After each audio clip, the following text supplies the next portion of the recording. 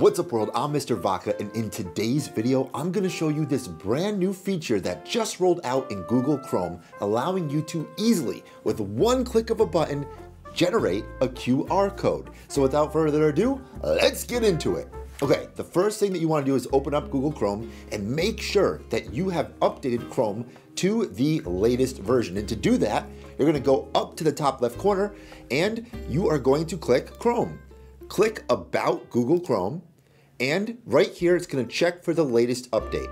Once you have verified that you have the latest update ready to go, you can go to any website. For example, I have this really cool website, the Google for Education Certified Trainer Program. And if I wanted to make this a quick QR code, all I need to do is click on the URL up here and you'll see, ta-da, a brand new QR code generator automatically built straight into Chrome. If you click it, you get this QR code with the hilarious dinosaur game from the this website hasn't loaded uh, the error page and then you have the actual um, URL right there. You can have this up on your whiteboard and have someone just take a picture of it or you can download the image directly to your downloads folder so you can put it on a website an email whatever you want. You just click that download and it's in my download folder.